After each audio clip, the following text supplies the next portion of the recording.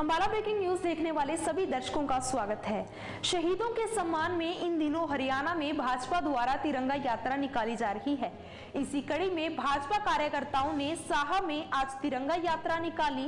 इस तिरंगा यात्रा में सैकड़ों की संख्या में लोग हाथ में तिरंगा लेकर शामिल हुए।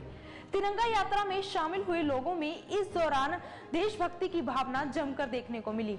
देश के मान सम्मान के लिए अपनी जान कुर्बान करने वाले शहीदों को श्रद्धांजलि देने के लिए और उनके सम्मान के लिए भाजपा इन दिनों हरियाणा में तिरंगा यात्रा निकाल रही है।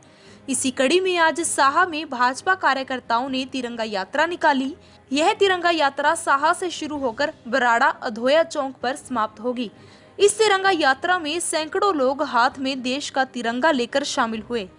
जानकारी देते हुए भाजपा कार्यकर्ता ने बताया कि शहीदों के सम्मान में यह तिरंगा यात्रा निकाली जा रही है और यह तिरंगा यात्रा साहा से शुरू होकर अधोया चौक पर शहीदों को श्रद्धांजलि देने के बाद समाप्त होगी।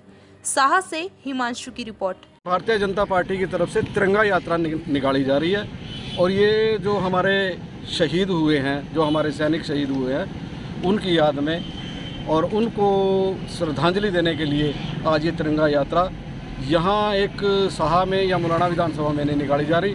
ये सारे हिंदुस्तान में अपने वीर गति को जो हमारे सैनिक प्राप्त हुए, वीर गति जिन्होंने प्राप्त किया जिन्होंने देश के मान सम्मान के लिए, देश की रक्षा के लिए अपनी जान दी है, उनको श्रद्धांजलि देने के लिए, उनके सम्मान में ये तिरंगा यात्रा निकाली जा रही है।